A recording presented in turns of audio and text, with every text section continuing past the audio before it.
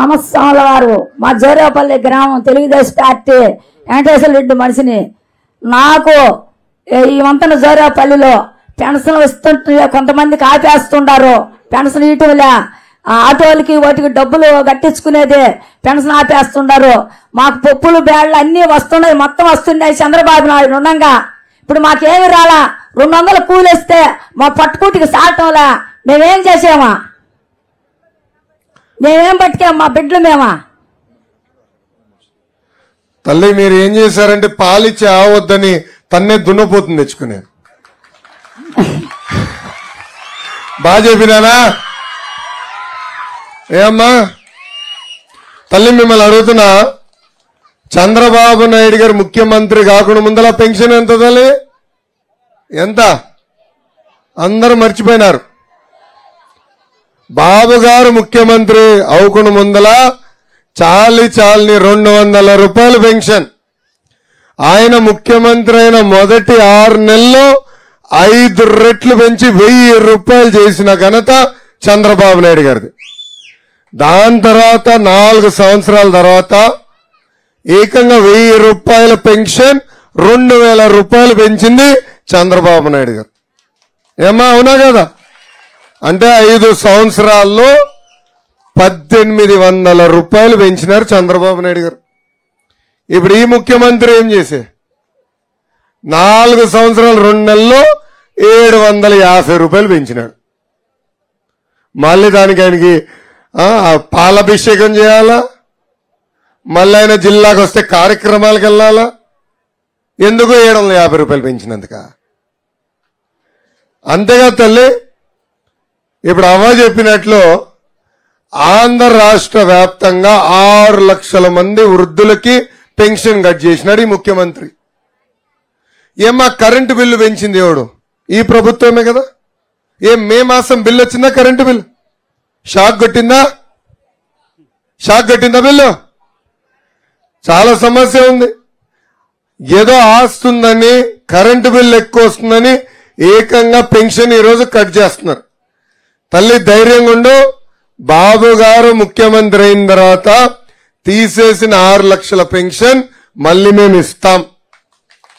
So ధైర్యంగా ఉండు తల్లి. ఓకేనమ్మా?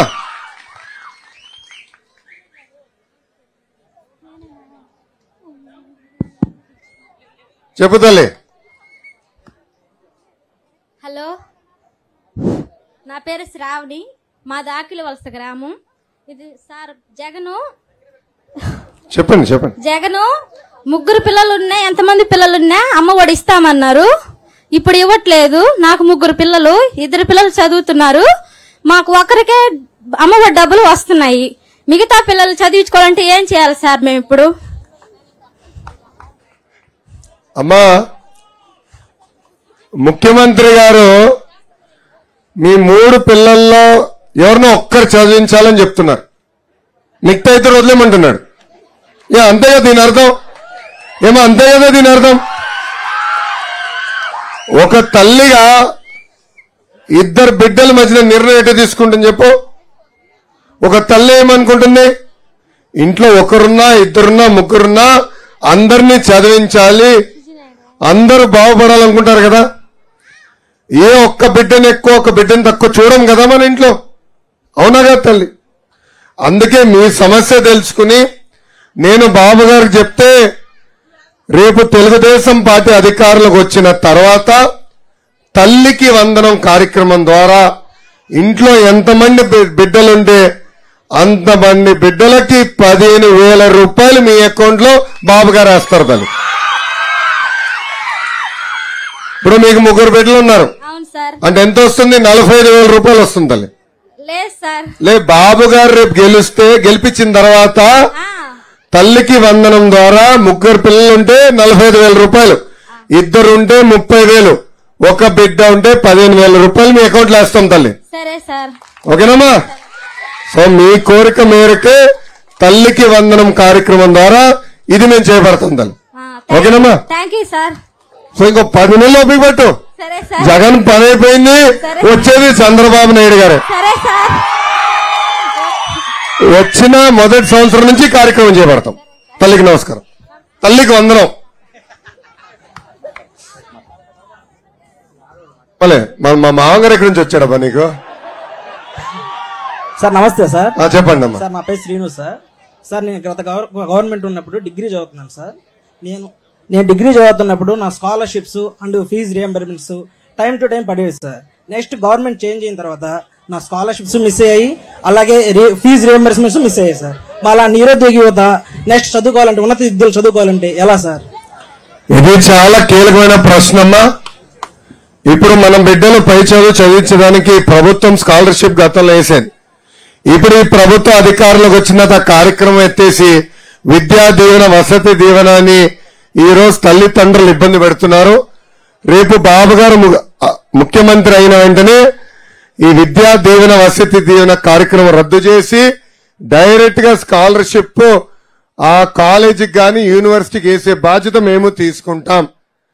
గతంలో ఎట్లయితే ఆ స్కాలర్షిప్ విధానం ఉండేదో ఆ విధానం మళ్ళీ తీసుకొచ్చే బాధ్యత తెలుగుదేశం పార్టీ తీసుకుంటుంది. మీలాంటి యువకులు తల్లిదండ్రులకు భారం కాకుండా లక్ష్యంతోనే ఈ కార్యక్రమం మేము చేపడతాం. థ్యాంక్ యూ అమ్మా.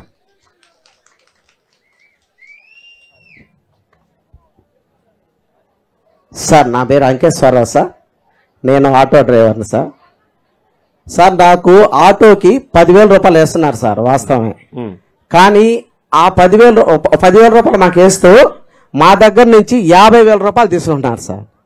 గత నాలుగు సంవత్సరాల అవతల ఇన్సూరెన్స్ వచ్చి మూడు వేలు మూడు వేల ఐదు వందలు ఉంది సార్.